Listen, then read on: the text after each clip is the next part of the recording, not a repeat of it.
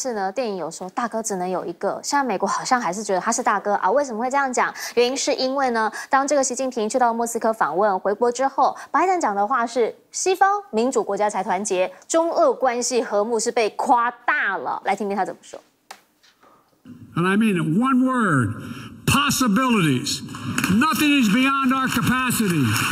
We can do anything. We have to never forget. We must never doubt our capacity. United States can do big things. We stand together, do them together, rise together. We're going to write the future together, I promise you. God bless you all and may God protect our troops. Thank you, thank you, thank you.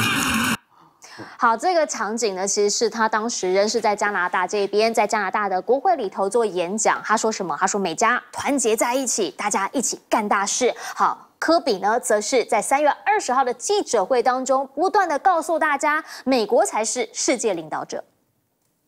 U.S. leadership around the world, U.S. leadership around the world, America's increasing leadership around the world, U.S. leadership around the world, American leadership, power of American convening leadership, American leadership around the world.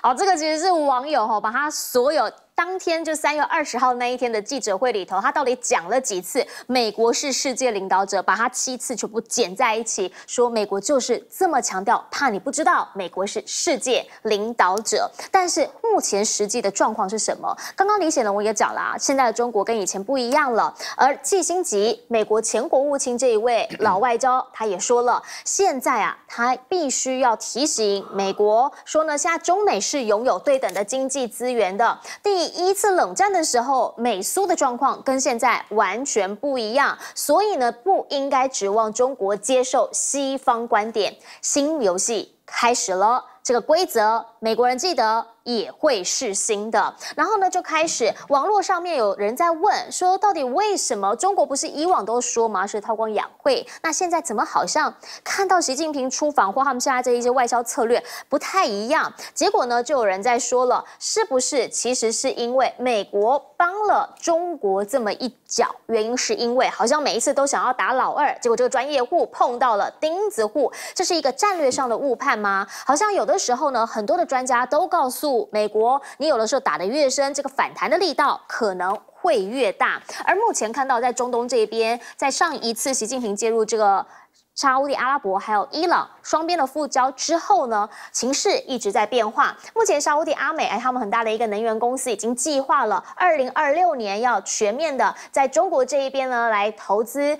预计会花掉一百亿美元，同时呢，他们也讲了，他们现在要转向制造业这边啊，也要前进嘛。所以呢，他们从二零一六年开始到目前为止呢，说已经盖了有共一万座的厂房，成长呢大概有百分之五十。你看到它。在中国这边持续友好，可是跟美国这边其实也没完全放掉，所以就有人说啦，这一位 MBS 好，他沙尔曼他是蛮厉害的，叫做中美通吃的布局，也就是以往好像都是美国优先，哎，现在呢，他加强跟中方这边的经贸关系，跟伊朗复交，就是为了平衡美国的影响力啊，甚至呢，也有人说，其实他跟俄罗斯这边关系也不错，因为先前呢，基本上他觉得普京的一些所作所为，他都。还蛮喜欢的，所以呢，有没有可能在这一局里头，哎，一左一右会往左走一点，往右走一点，这是大家很好奇的一件事情。当然，现在我们看到了沙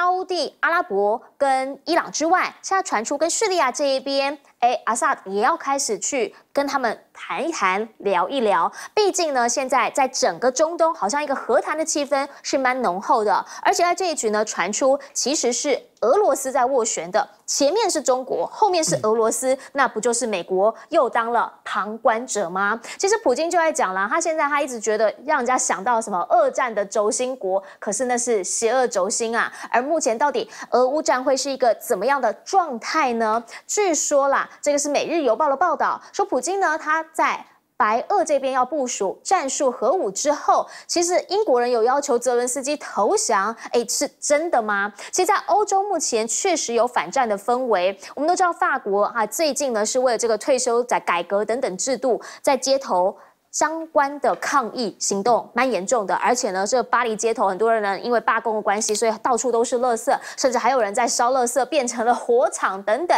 好，可是这里头也有一个声音，叫做拜登，我们不想要你的战争。甚至呢，伊朗外长还喊话马克宏，说要尊重人权。他说啦，很讽刺啦，一个被西方制裁的国家也看不下去欧洲大国的暴力镇压，而欧盟呢，到目前为为止，很多人都开始在问，到底先前跟着美国走这个路是对还是不对？现在要去哪里？我们是不是要继续再跟下一步跟着他对抗中国呢？甚至呢，也有很多人在讲了，整个美国的战略到底有没有把他们当成自己人，还是其实是为了美国利益在往前走？那盟友入死胡同该怎么办？会不会他们就算了？回过头来请教亮哥，您怎么样来看？拜登有讲啊，说中俄关系和睦，这被夸大了。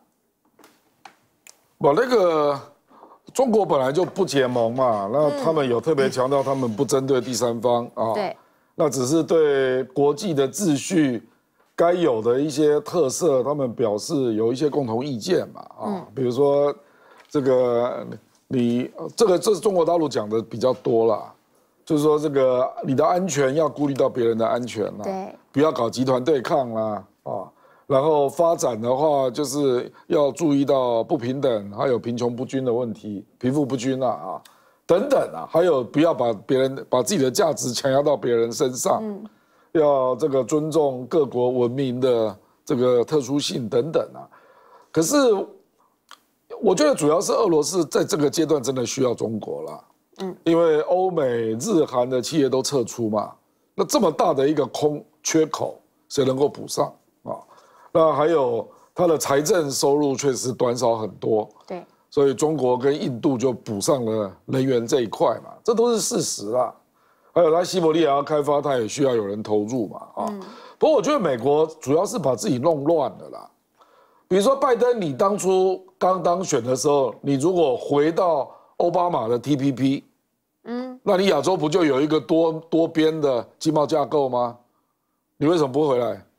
是川普退出啊，你为什么不回来？啊，拜登类似的举措还非常多啦，啊，比如说就是他事实上那个时候就已经反省到，用关税来做武器是不会成功的。然后也是他的政见呐，可是他并没有做啊。实际上，中国大陆那时候最担心的就是他在亚洲搞 TPP，然后在美欧之间搞 TTIP，嗯，结果后来都没有啊。就拜登变成是继续 follow 呃川普的政策，一样啊，中东也是嘛，嗯，川普跑去说那个以色列的首都在耶路撒冷，嗯，然后那个屯垦区以色列有合法性，嗯，你违反联合国决议耶。所以当然引起阿拉伯国家的严重反弹嘛。结果你拜登上来之后，你也没有改回去啊。那你你这样叫中东的国家怎么跟你做朋友？嗯。还有你看这次巴西鲁拉吧，他是因为生病，结果暂暂停访问中国。是。不然他是先去美国哎。对。他刚当选总统是先去美国，只有只去一天。嗯。那只跟拜登谈政治，说气候变迁的部分，巴西可以跟美国合作。那然后呢？他要去中国大陆，带了两百四十位企业家，然后听说本来要签二十个协议，嗯，然后希望中国去巴西协助他发展基建，还有做一些投资，他的工业的发展啊，这个就是明显的差别嘛，嗯，就是你连你的后院为什么你守不住？因为你能够提供给他的帮助实在是没有嘛，是，不然巴西为什么他先见你啊？表示尊重啊。那为什么只去一天？嗯，因为你没有办法提供他基建嘛，没有办法帮助他做工业发展嘛。嗯，那怎么办？那难道类似处境只有巴西吗？你去看阿根廷，巴西是南美的共同市场里面最晚参加“一带一路”的。对，阿根廷早就参加了，乌拉圭也参加了，智利也参加了。那难道这一些不是美国的朋友吗？是。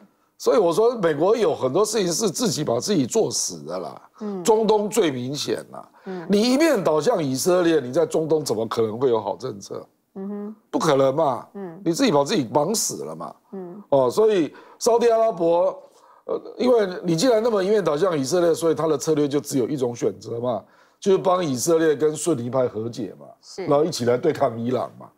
可是对顺礼派来讲，他就觉得，那我直接去跟伊朗和解不就好了，哎，对不对？嗯当然会变成这个样子啊，那不就你自己作死了吗？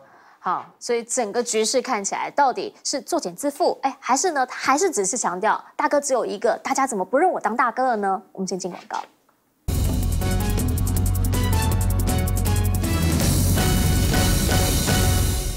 好，我们刚刚讲到了现在的美中关系，李显荣说，哎，需要好好的思考一下。季新杰也说，这比第一次危险今非昔比，大家就想问，说很多美国人的疑惑可能是为什么中国不再韬光养晦了？请教赵老师。中国长大了啊！我记得那个时候，在习近平有一次到法国去访问的时候，他就讲嘛，中国一个睡狮啊啊，一个睡狮现在要醒了。那么韬光养晦，其实意思不是说无所作为啊，哎，韬光养晦的意思就是说你该做的还是做，不该做的你不要强出头啊，它主要是这个意思。那么我想中国它的崛起应该呃，西方他们在研究，应该从二零呃，应该从二零零五年的开始，当时这个。呃，北京奥奥运办成功了哈。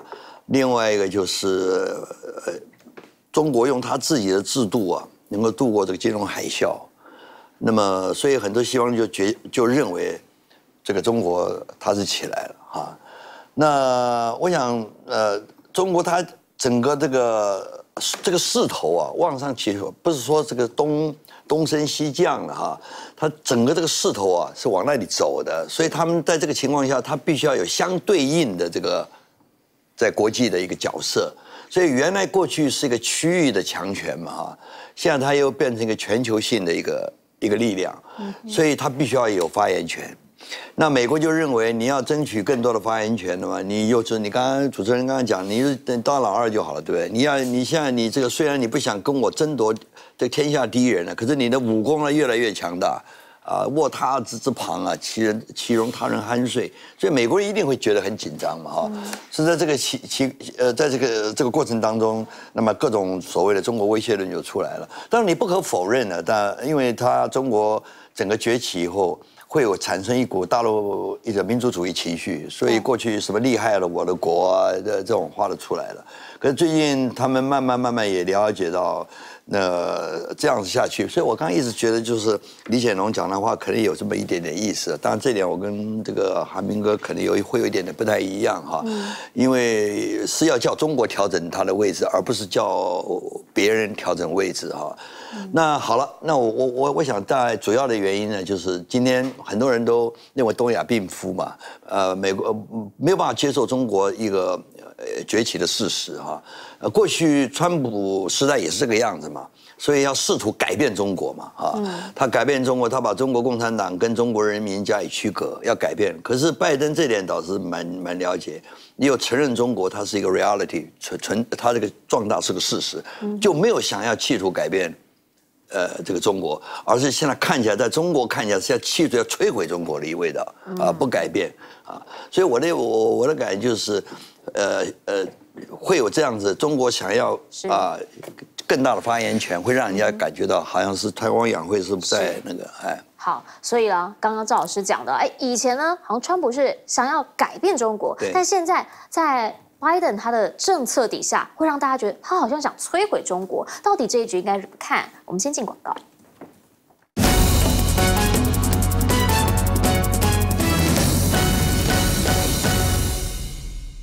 好，讲完了美中之外呢，我们要请教在中东这一边，哎，沙沙乌地这边有动作，他其实是不是真的想中美通吃？请教斌哥。对沙地来讲，我为什么一直要长期被你美国宰制？而且美国过去跟他来讲，他算是合作伙伴，可是现在他们是竞争对手。